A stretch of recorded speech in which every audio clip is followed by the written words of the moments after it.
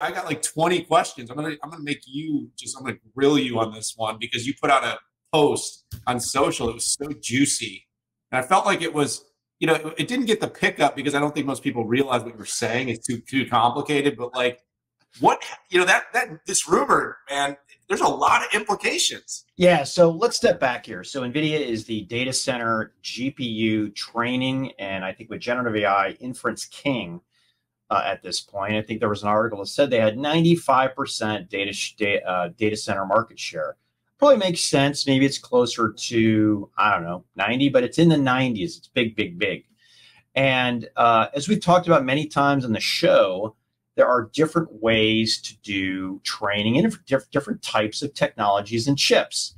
And I like to look at it as kind of a, a barbell, right? Infinite flexibility. You have the, C, the CPU.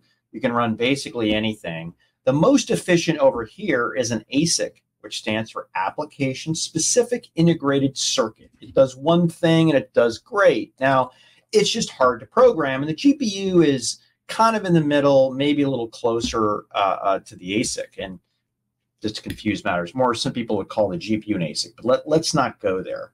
So uh, the market right now uh, for custom ASICs, you have Broadcom and Marvell. And then on the merchant ASIC, right, you've got stuff like Intel Habana, you've got Groq, you've got Untether, uh, companies like Untether AI. And we are seeing where it goes. Now, Dan, you and you and I are always talked about uh, the AI ASIC being much more efficient and what's going on here. But the rumor says, and this was uh, came out of Reuters, that NVIDIA is chasing the $30 billion custom uh, ASIC uh, market out there. And yeah, I got a little bit provocative. And Dan, you read between the lines of what I was saying, which is, first of all, if this is true, totally justifies the market for data center AI ASICs. Been all GPUs so far.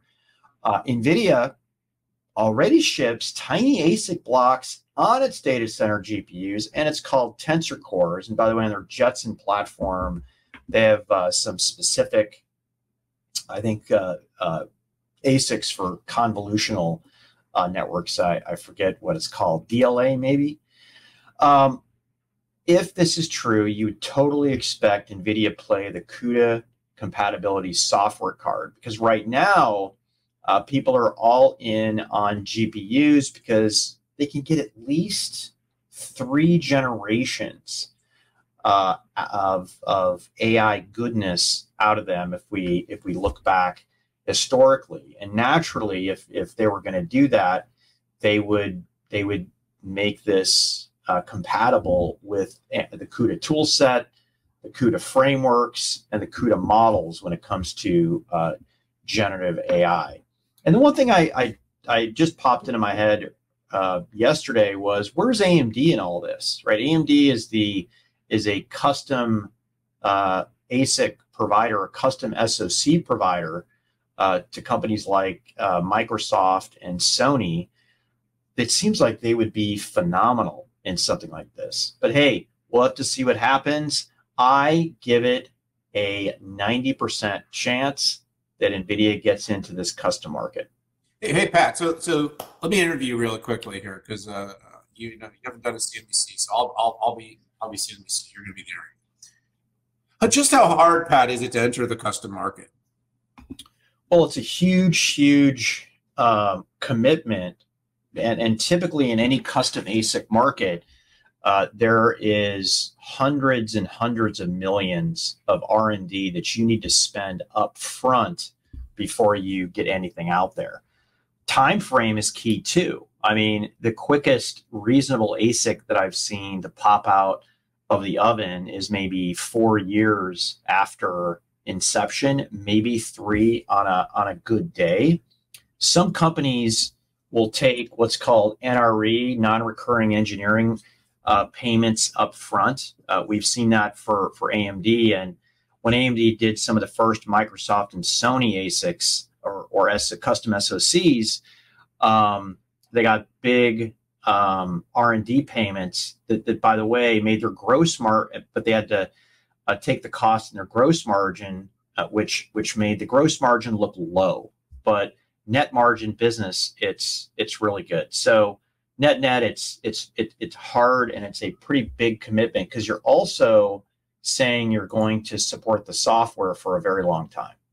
Okay, two more quickies. So for companies like a Marvell and a Broadcom, Pat, is this an attack or is this complementary?